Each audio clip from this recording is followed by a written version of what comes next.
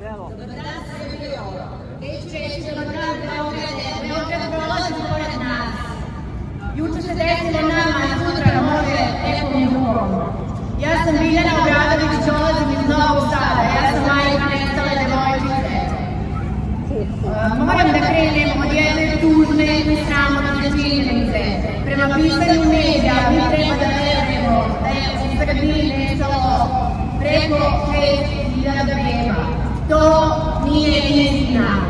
U Srbiji od 1960. do 2010. godine nestalo je preko 500.000 beba.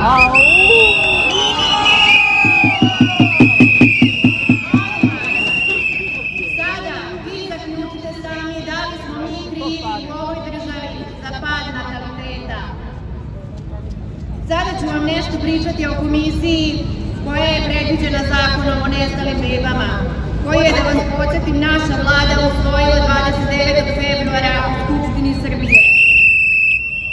Ovaj sramni i nakazni zakon donešen je u potpunoj tajnosti, kao i komisija koja je formirana daleko od očiju ljudi. Na mesta članova komisije izabrano je šest ljudi iz raznih ministarstava. Neću da pominjem koji. Ostalih devet članova, oni su, oni su, pripadaju udruženju roditelja nestalih beba. Ali, ovom prilikom moram da kažem da članovi komisije nisu pripadnici udruženja roditelja nestalih beba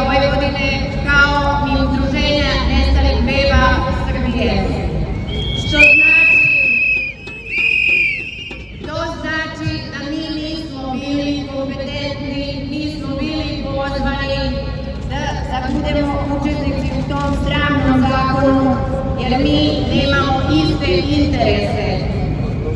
Ova komisija, ova sramna i nakazna komisija, Neka nešto kaži je, ima, kad se zna, kad se zna ko ime prede, ja naša moja komisija. komisija, nemoj, je bilo? kaži ko je, ja sam bila Petro Jedno, Tito Kolovar, ja sam Tito Kolovar bio, niti promenili kaži ko je, Alo, šuti bre! jebe mi Vučiće, Šuti! policiju sad kopio, Tišina!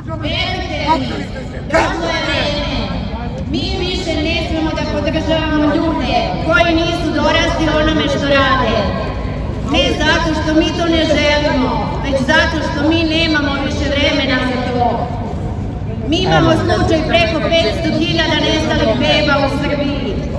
To više nisu bebe ljudi, to su, to su odrasli ljudi, to su samostalni ljudi. Shvatite, mi smo izgubili previše vremena.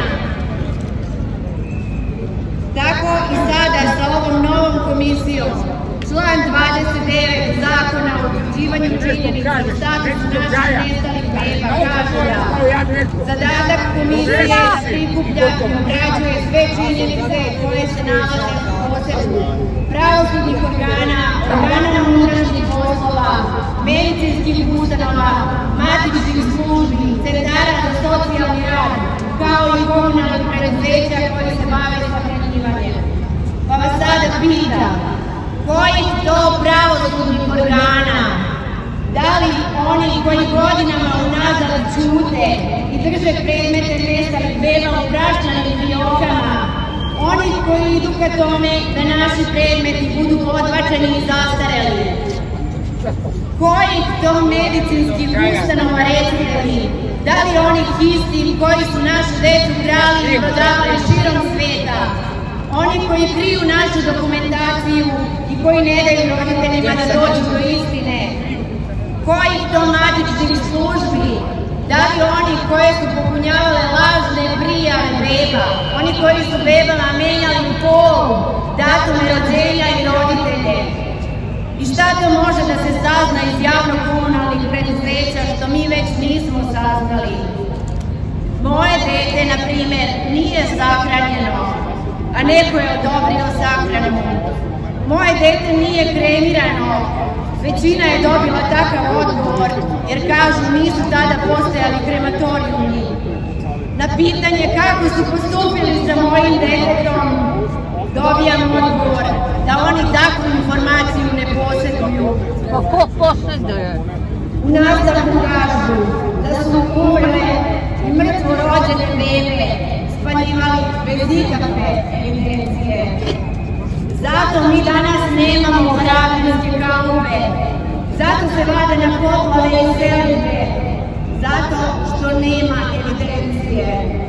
Slušajte me, kad za nešto ne postoji evidencija, mi smatramo da se tako nešto nije ni dogodilo.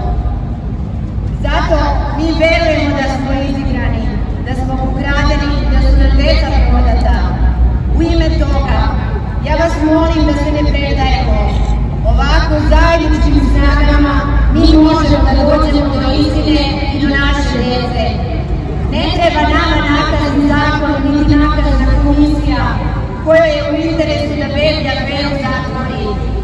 Roditelji koji ste podneli zahtjev za utvrđivanje statusa po novom zakonu, imate još malo vremena da isti pomučete. Učinite to za vaše dobro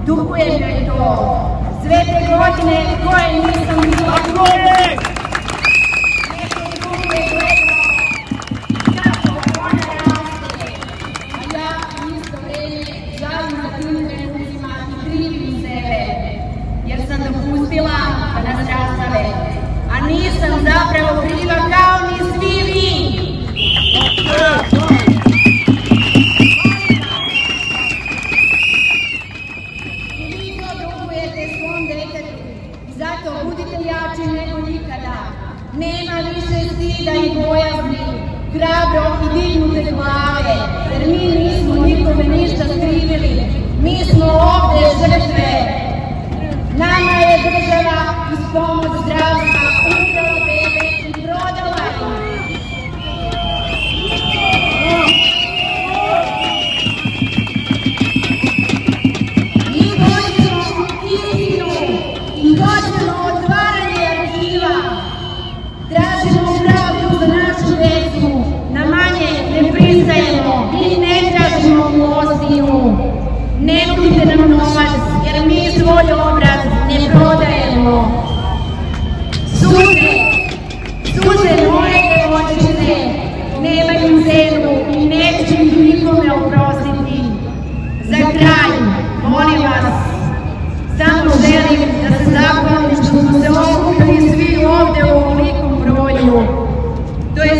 da ne zatvaramo oči pred tuđom mukom.